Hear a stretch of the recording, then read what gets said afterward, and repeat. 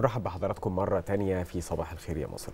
مفيش شك أن العلاقات المصرية السعودية هي علاقات تاريخية وممتدة وليها خصوصية كبيرة باعتبار أن الدولتين ليهم ثقل وقوة قوة تأثير على الأصعدة العربية والإسلامية والدولية أيضا.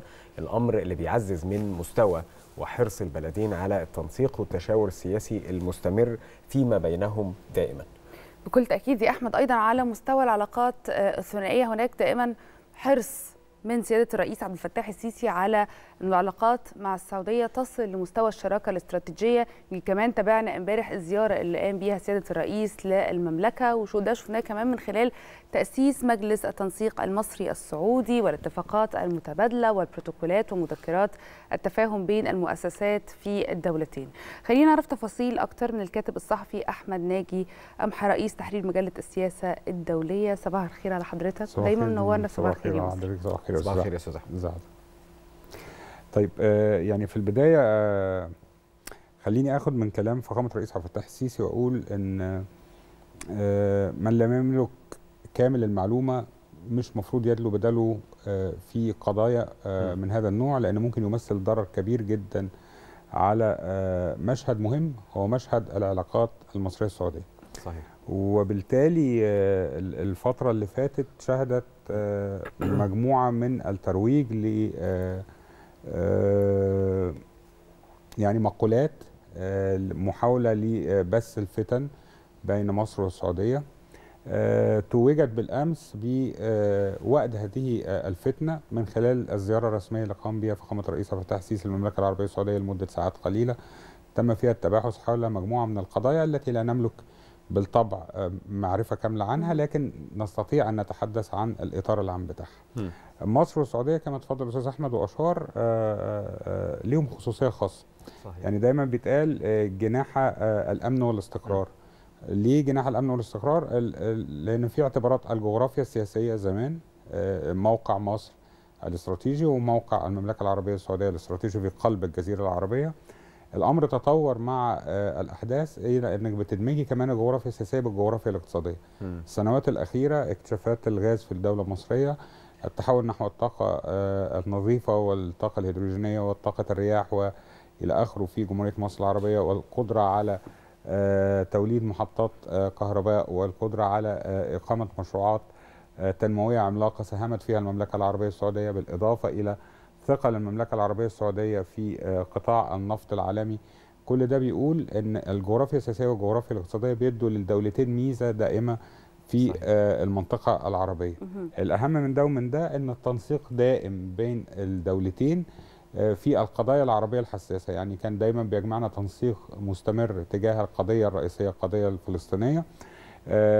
ازداد الأمر يعني الحاحا بعد 2011 وبعد التهديدات التي طالت الدولة الوطنية العربية ويمكن ده اللي بيكسب هذه الزيارة في هذا التوقيت أهمية كبيرة ودلالات كبيرة جدا نستعرضها مع حضراتكم. طيب يعني يا فندم حضرتك اتكلمت على شكل أو أطر التعاون بين المملكة العربية السعودية وبين مصر. لكن عشان يحصل هذا التعاون بالطبع في خصائص معينة لهذه العلاقة لازم يكون في ارتكازات محددة لهذه العلاقة أيضا. من وجهة نظر حضرتك إيه هذه الخصائص أهم هذه الخصائص وهذه الارتكازات عشان يقدر إن إحنا يحصل هذا التعاون أو هذا الدمج؟ اولا قدم هذه العلاقة. يعني أول حاجة قدم هذه العلاقة علاقة ضاربة في التاريخ. المملكة العربية السعودية في مرحلة التأسيس الملك عبد العزيز آل سعود مؤسس المملكة العربية السعودية قال عبارة شهيرة لابد إن إحنا نفضل فاكرينها أنه لا غنى لمصر عن العرب ولا غنى للعرب عن مصر. ودي أمر مفروغ منه يمكن ترجمت في السنوات الأخيرة ترجمها عبد الفتاح السيسي لما قال مسافة السكة في صحيح. تعبير عن أن القوات المسلحة المصرية جاهزة لصد العدوان ومنع التهديد عن أي دولة عربية من دول الخليج العربي. لما بنتكلم عن الإطار ده لازم نتفهم إن الإسهام المصري في التنمية والعمران في المملكة العربية السعودية كان إسهام تاريخي. ويمكن الدولة المصرية ساهمت بده عبر مجموعة من الاتفاقيات مع الملك المؤسس للمملكة العربية السعودية في هذا التوقيت. ثم تطورت هذه العلاقة إلى علاقة شراكة على مدى فترة طويلة. آه، أول عدوان حصل على الدولة المصرية نتيجة آه، القضية الفلسطينية عدوان 56 صحيح كان المملكة العربية السعودية دور مشرف فيه صحيح كذلك آه، آه، المملكة العربية السعودية سارعت بتمويل آه، السد آه، العالي في إشارة كبيرة إلى آه، تضامنها بعد مع الولايات المصرية. المتحدة. بالظبط. آه، لما بنبص على حرب 67 ونتذكر المواقف المشرفة للمملكة العربية السعودية من دعم آه، الدولة المصرية عقب آه، آه، يعني ال- الأحداث التي حدثت في 5 يونيو 67 اللي بيهمنا إن إحنا دخلنا على 73 وكان الاستخدام الأكبر لسلاح النفط اللي البعض للأسف بيقول إن هو كان السعودية بتعلي من قيمتها في المحفل العالمي آه، طبعا لازم. يحصل مزايدات يعني لكن ال- حقيقة الأمر أن هذا الموقف المشرف للمملكة العربية السعودية اللي قادت من خلاله مجموعة الدول العربية هو كان نقطة التحول في هذه المعركة نحو صحيح. إنصاف الدولة المصرية وموقفها فلما بتتكلمي على المرتكزات دي كلها وتضيفي ليها المكون الديني والمكون الثقافي وأن الدولتين باتت لديهم النهارده تحديات مشتركة مهمة جدا على رأسها تحدي الإرهاب والتطرف. أو تحدي عفوا تحدي التطرف والإرهاب لما بنبص لده ونشوف مجهودات الدولتين للتصدي ومجابهة آه، التطرف والإرهاب لازم نتفهم أن الدولتين بيخوضوا معركة كبيرة جدا على المعترك الثقافي فيها قدرة على آه، تجديد الخطاب الديني قدرة على آه، إنجاز آه، حقوق لقطاعات في المجتمعات دي كانت مهمشة لفترة طويلة على أمها المرأة. آه، قدرة على إحداث نوع من أنواع التحديث المدني في ظل الحفاظ على مقومات الدولة.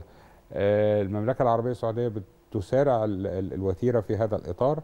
تحاول أن آه، تنجز كثير من الإصلاحات في هذا الشأن. وده أمر آه، ينبغي أن نقدره ونقدر القائمين عليه لأنه هو بيعكس طفرة مهمة جدا نحو خلخلة هذا الفكر المتطرف اللي ساد في المنطقة العربية لفترات طويلة. لما بنبص المرتكزات دي كلها ونشوف آه، شكل العلاقة على الإطار الشعبي بقى. يمكن الإطار الشعبي ده الأهم ال- الدولة المصرية تاني أكبر جالية متواجدة في صحيح. الأراضي السعودية صحيح. في المملكة العربية السعودية بتساهم في كل المشروعات التنموية في المملكة العربية السعودية ومن ثم آه، الدولة المصرية دولة حاضرة بقوة في آه، المملكة العربية السعودية بقدرات شعبها العظيم على آه، تقديم خبراته وتقديم إمكانياته آه، إلى أشقائه في المنطقة العربية ورأسها المملكة العربية السعودية نعم. آه، كل ده بيعتبر مرتكزات نقدر نبني عليها آه، تصور سريع آه، لهذه العلاقة علاقة مميزة مم. آه، ناهيك بقى عن المكون الشخصي في في في هذه العلاقة العلاقة يعني لما بتتكلمي على علاقة ملوك المملكة على طول زمن رؤساء الجمهورية مصر العربية لما بنشوف العلاقة على هذا المستوى لازم بنتفهم إن هي دائما بتكون علاقات مميزة مهم. وده آه، من يعني يعني تقدري تقولي إن هو تكريس أو نتاج لمجمل هذه الخصائص مم. آه، اللي بتجعل آه، من مكانة الزعماء في الدولتين في مكانة رشيدة وحكيمة مهم. قادرة على آه، يعني اتخاذ مواقف لصالح شعوبها في توقيتات صحيح. زي ما شفنا يمكن أنا كنت كاتب حاجة في جريدة الوطن وأشرت فيها إلى إن كل ثقة الكلام ده كان من شهرين كل ثقة في القيادة الرشيدة للدولتين على قدرتها على تخطي كل محاولات الهدم والتخلص من آه، الشوائب آه، اللي للأسف حاولت أن تعكر آه، العلاقات المصرية السعودية دون إدراك من اللي قاموا بهذا العمل لأبعاد هذه العلاقة أو دون وقوف على المشهد بالكامل ثم صحيح. قدرتهم على تحليل المشهد. أستاذ أحمد يمكن آه، العلاقات ما بين مصر والسعودية بتتسم بالديناميكية السريعة. وحضرتك في المقال اللي حضرتك ذكرته آه، يعني تحدثت عن نمذجة العلاقات التكاملية تحديدا. بتشوف إزاي حرص مصر والسعودية على التنسيق والتشاور في مجمل الملفات سواء كانت الإقليمية أو الدولية في القضايا المشتركة بينهم؟ بص أستاذ أحمد امبارح آه، آه، هذه الزيارة السريعة اللي استمرت لعدة ساعات لفخامة الرئيس عبد الفتاح السيسي إلى المملكة العربية السعودية ولقاء بولي العهد السعودي آه، الأمير محمد بن سلمان وزير رئيس مجلس الوزراء. خلينا نقول إن هذه الزيارة هي زيارة رقم 15 للرئيس عبد الفتاح السيسي في فترتي الولاية. يعني بتتكلم على أقل من 8 سنوات فيهم 15 زيارة لفخامة الرئيس عبد الفتاح السيسي. كل هذه الزيارات بيقابلها زيارة مقابلة أو زيارتين مقابلتين يعني صحيح. في نفس السنة السنة الوحيدة يمكن اللي ما كانش فيها زيارات بين الدولتين كان عام 2020 نتيجة التراجع. اللي حصل. في آه، آه، السفر بفعل جائحة كورونا وال- وال- والاجتماع يعني إنما على أرض الواقع أنت كنت بتحقق آه، آه، بمؤشر الزيارات معدل آه، تنسيق عالي. آه، آه، ترجمته على الأرض إنك أعلنت شراكة استراتيجية في 2016 مم. والشراكة الاستراتيجية في 2016 دي أنت توجتها بالتحول ناحية نتذكر جميعا زيارة الرئيس الأمريكي دونالد ترامب المملكه العربية السعودية والتوقيع على معهد ومركز لتصحيح الخطاب الديني في المملكة العربية السعودية في هذا الإطار. وأن مصر كانت شريك في هذه القمة التاريخية القمة الإسلامية الأمريكية في المملكة العربية السعودية. آه، لما بتبص للتنسيق على مستوى أبعد الاستثمارات يمكن الاتفاقيات اللي تم التوقيع عليها في 2016 تحولت إلى اتفاقيات مباشرة مم. آه، في 2018 و2017 عبر الزيارات المستمرة للأمير محمد بن سلمان ولقاءاته المستمرة والتعاون المستمر سواء مع فخامة الرئيس عبد الفتاح السيسي أو مع دولة رئيس الوزراء المصري. كل ده بيديك مؤشر على فعالية آه، الحراك السياسي بين قادة الدولتين والقدرة على خلق مساحات مشتركة. نعم. آه، ال- ال- الدولتين الحقيقة آه، بيزيدوا ويسرعوا من وتيرة التعاون في الفترة الأخيرة عبر خلق دوائر ابتكارية آه، ل- لأهداف بعيدة يعني آه، مشروع المشرق الجديد آه، ده مشروع مهم جدا. والدولتين داخلين فيه بقوة شديدة جدا آه،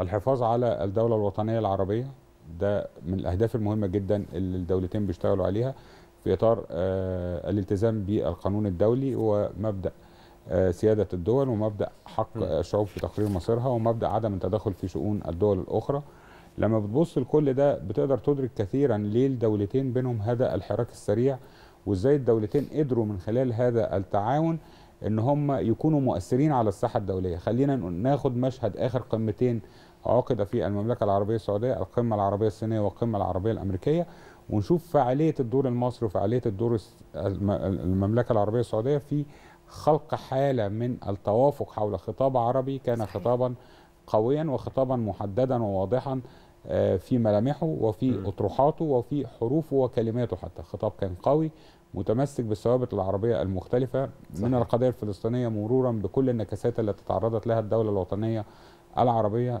طول الفترة من 2003 منذ. انهيار العراق وحتى آه، اللحظة اللي إحنا بنعيش فيها في ظل تدا- تداعي الاوضاع في العديد من الدول العربية نتيجة أحداث 2011 م. آه، الحقيقة ان إن كل ده بيقابله آه، آه، مساندة من المملكة العربية السعودية للدولة المصرية لا ننكرها ولا ينكرها أحد صحيح اللي هو موقف آه، المملكة العربية السعودية والإمارات العربية المتحدة الداعم للدولة المصرية عقب ثورة 30 يونيو الشعبية العظيمة آه، كانت الأمور هتبقى على منحى مختلف صحيح. جدا ولولا زيارة وزير الخارجية السعودي في هذا التوقيت في مؤتمر بالظبط آه، زيارة وزير. الخارجية السعودي. إلى الولايات المتحدة الأمريكية والمكاشفة بأن آه، لا يمكن لأحد أن يتدخل في الشأن المصري وأن هذه ثورة شعبية بالفعل صحيح. كانت أمور كتير هتتغير على الساحة. الدعم الذي قدم بعد ذلك في إطار استثمارات من المملكة في المناطق الاستثمارية آه، أو المناطق الاقتصادية اللي الدولة المصرية سارعت بإنشائها بيعكس الثقة في الاقتصاد المصري ويمكن التصريحات الأخيرة الصادرة من المملكة العربية السعودية صباح أمس بتعكس هذا الأمر أن هناك ثقة في الاقتصاد المصري وهناك ثقة في القطاعات الاقتصادية المصرية وقدرتها على النمو في المرحلة القادمة. آه، في المقابل الدولة المصرية لم تتخلى طول عهدها عن الالتزام بالدفاع عن الدول العربية في الخليج العربي بدءا من آه، الأزمة التي تعرضت لها آه، تعرض لها الخليج العربي في الحرب الكويتية الحرب العراقية الإيرانية ثم الغزو العراقي للكويت وشفنا الموقف المصري المشرف الملتزم بثوابت العمل العربي المشترك والحفاظ صحيح. على الدولة مم. العربية. الوتيرة السريعة اللي حضرتك بتتكلم عليها دي هي ترجمة لكل هذه الآليات المختلفة مم. اللي بتعكس في النهاية الإدراك المشترك للمخاطر والتهديدات المحيطة بالدولتين. نعم طيب دكتور خلينا نلقي كده نظرة أوسع آه، للتحركات العربية بشكل عام يعني زي ما حضرتك تحدثت أنه العلاقات المصرية السعودية علاقات قديمة ومتينة وعميقة وما إلى ذلك. لكن كمان تابعنا أمس أنه العلاقات السعودية الإماراتية بتشهد تطور أيضا ملحوظ. على الجانب الآخر آه، مصر وعلاقاتها مع باقي الدول العربية لو نتكلم على سبيل المثال العلاقات آه، المصرية الأردنية العراقية. فكرة هذا التقارب العربي آه، عربي هو مهم جدا. وعامل آه، هو عامل التوقيت. عامل آخر هو النظرة الغربية أو المشهد الغربي أو نظرة الغرب لما يحدث من هذه التحركات العربية رؤية حضرتك لهذا المشهد إيه يمكن إحنا النقطة اللي فاتت كنا بنختم بالتحديات اللي بتواجهها الدولتين في هذا التوقيت. م. تحدي إقليمي وتحدي على الصعيد الدولي، التحدي الإقليمي إنك أنت بصدد إعادة ترتيب المشهد الإقليمي مرة أخرى من خلال تفعيل العلاقات العربية العربية وإجراءات المصالحة العربية. ويمكن آه، قريبا يمكن أن نشاهد سوريا في الحاضن العربي مرة أخرى وعودة سوريا إلى الحاضن العربي ده أمر مهم جدا. والمؤشرات ده على ده متواترة ومتوافرة طوال الفترة اللي فاتت. آه، لغة الحوار هي اللغة التي بدأت تنتهجها السياسة الخارجية للدول العربية والقبول بالطرف الآخر طالما ارتضى بالمبادئ الحاكمة للعلاقات الدولية من مبدأ حسن الجوار ومبدأ م. عدم التدخل في شؤون الدول الأخرى ومبدأ الالتزام بقواعد القانون الدولي الدول العربية بدأت تنتهج سياسة خارجية في هذا الإطار تميل إلى الحوار والانفتاح على القوى الإقليمية الأخرى بالإضافة إلى قدرة هذه القوى على بلورة سياسات مصالحة عربية داخلية.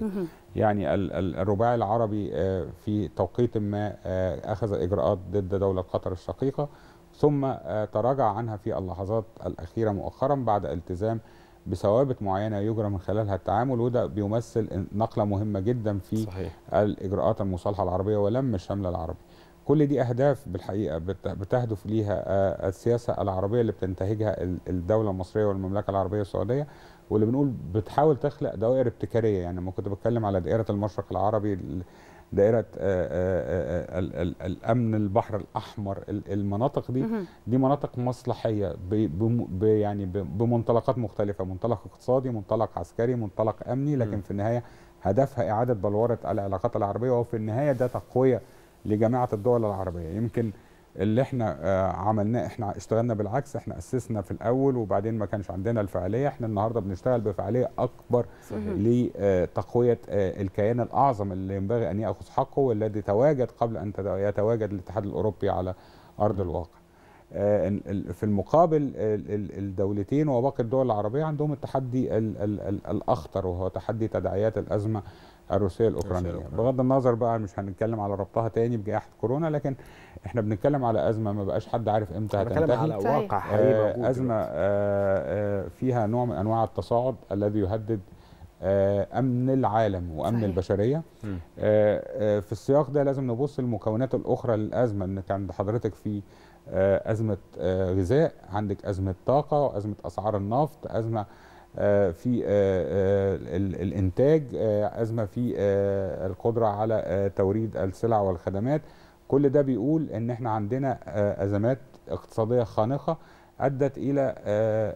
اقتصاد يتهاوى في العديد من الدول حول العالم نعم وخلق أزمة اقتصادية عالمية صحيح. بتتكلم على بتتكلم على إن إحنا مهددين بالدخول في الر- الركود التضخمي فبالتالي لما بنتكلم على هذا المشهد لابد من سياسات تعاون عربية تستفيد من خلالها من خبرات الأزمات اللي مر بها العالم طوال السنوات ال- ال- طوال القرن الماضي يعني إحنا صحيح. عندنا عديد من الأزمات في القرن الماضي مر بها العالم اشار في 1928 1930 مم. والأزمة اللي تلت الحرب العالمية الثانية ثم أزمة 2008 آه، الأخيرة نعم. ودي كلها آه، كانت التكتلات آه، الاقتصادية في ربوع العالم مم. بتنتهج سياسات اقتصادية معينة في. توقيتات معينة وأعتقد يا بهدف تحقيق المصلحة لشعوبها نعم وأعتقد إن قوة ومتانة آه، العلاقات الدبلوماسية آه، العربية العربية تحديدا في ظل هذا التوقيت آه، يعني زي ما حضرتك ذكرت هو توقيت حساس للغاية لما يعني يحيط به من آه، كثير من التحديات سواء كانت الأزمة الأوكرانية الروسية أو ما سبقها من يعني جائحة كورونا ونقص في سلاسل الإمداد والتمويل تحديدا كل ده بينعكس قوة هذه العلاقات على نافذة الاقتصاد لكل الدول آه، العربية. بنشكر حضرتك على وجودك معنا في صباح الخير يا مصر. شكراً أستاذ أحمد. الأستاذ أحمد شكراً ناجي. أمحى رئيس تحرير مجلة السياسة الدولية. شكرا لحضرتك شكرا أستاذ جمال. شكرا لحضرتك يا دكتور.